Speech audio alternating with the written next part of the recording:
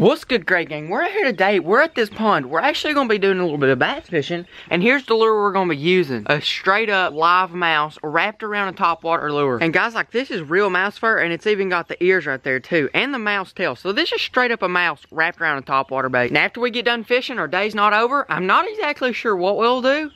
But I'm about positive we'll do something. Boys, I got a bird. I've got a bird trying to eat my bait. I've got a bird. Oh my gosh. Look, do you see that bird? I've got a stinking wood duck or something trying to eat my mouse. Here, oh my gosh, there he was again. I've got a stinking bird trying to eat my mouse. No one else. Oh, there he is. Oh my gosh, that's a good one too. Oh man, there he is. Finally, swatter skin him. That'll work for me. Just get him up here on the bank. Finally, we got one. We've been fishing here for a while. The water's really muddy, and I think, you know, we've had a little rain lately, and I really do think that's messed it up quite a bit. Yeah, nice little bass right here on the mouse. Glad we finally got out here and got one. I was starting to think a wood duck would be the only thing that would be interested in my lure today, but apparently not. Got this bass. And boy, is he a good one. He's a mouse eater. Now, let's try to get us another one. Not the best day out there. I did catch one nice fish, and then I did get another bite, which I'd say that other bite, he was probably just a hater anyways. And then you always got to factor in, I almost caught a wood duck out there. I don't even know what he was doing. I mean, I don't know if ducks eat mice, or if that's the right thing they do. I don't know. But I can tell you right now, that's what he was trying to do. Now, if you really liked watching me fish with that mouse lure, you can watch this video right up here. It's of me. It's a whole video of me catching all kinds of fish on one just like it. So go ahead, watch that. But if you don't want to watch that, let's go do something. So if you've read the title, you figured out what I got into. We're actually gonna be squirrel trapping with a minnow trap. Now here is the exact trap. We're also gonna be setting that minnow trap here in a few minutes, but first we're gonna set this gigantic squirrel trap. So what exactly is this? Well, this is basically a minnow trap, except it's the crawdad trap, which means it has the bigger holes, and that is definitely big enough for a squirrel, because if a squirrel can fit his head in there, then his body can get in there. And we put this extension on there just to make him feel more comfortable and let him go in there. Now for bait, it's actually gonna be in here, and we're using peanut butter crackers. The man himself who runs this company. The company's name is G's Minnow Traps. He said, hey, you can use a crawfish trap and you can go out there and catch squirrels. Just use a little peanut butter and crackers, maybe a little bit of corn, and boom, you're golden. So what we're gonna do right here is I'm just gonna take my things, you know, and set it in there, just like that. And, I, and I'm actually gonna put some leaves in there, you know, just to make it feel more homey for the squirrel. You struggling, Ken? A little bit.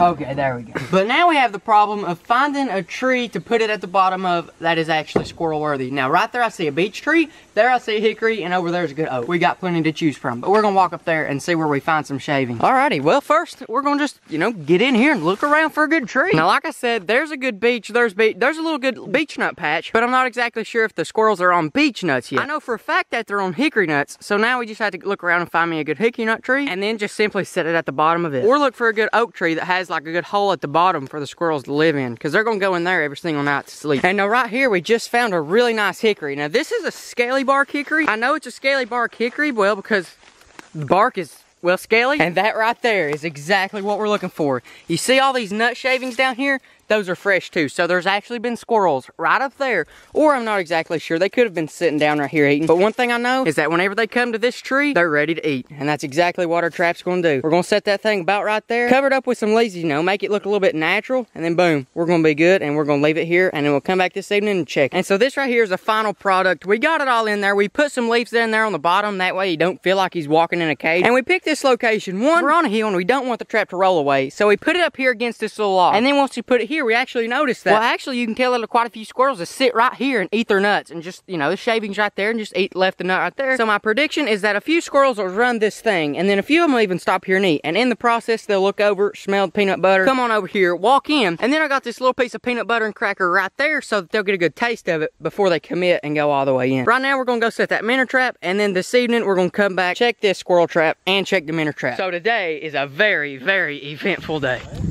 Is it? Is there a bass down there? So there's a bass down there.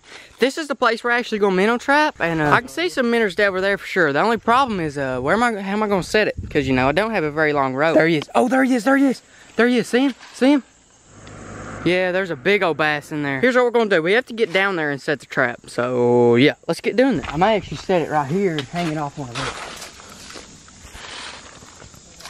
Yep, that's what we're gonna do. So fortunately, this rope is a little, just long enough to, you know, set from up here. So what I'm actually gonna do is set it and then tie it to this vine right here. And this vine, you know, it shouldn't just fall off. If it falls off, then oh well, I guess I lost a minnow trap. But we'll see you this evening. Hopefully we can catch one. I might even bring my wacky worm this evening and try to catch that bass. Okay guys, it's been about six hours since we set those traps. Trey's not with me anymore, but I am. And you're here with me. Now right here, first we're gonna check the minnow trap, then we'll go over and check the squirrel trap. But here we go, my first question. Is it still here? Okay, cool, it's still here. Someone didn't steal it. Here we go. If I drop my camera, I'm pretty well going to delete my YouTube channel right here. But anyways, I'm going to pull it up, see if we got anything. First thing, we don't have nothing.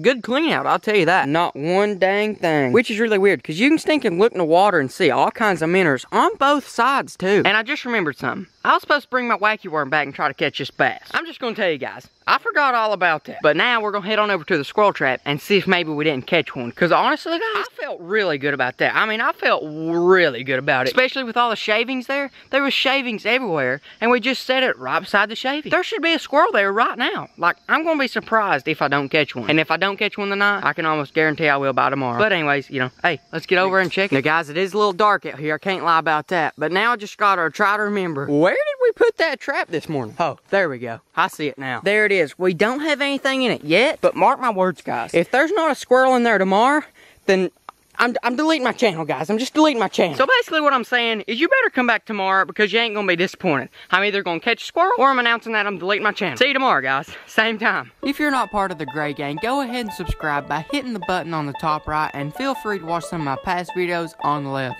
As always, favorite squad, post it up, down low. If you want some of this sweet merch, head on over to kendallgray1.com or the link in the description. But besides that, I'll catch you later in tomorrow's video.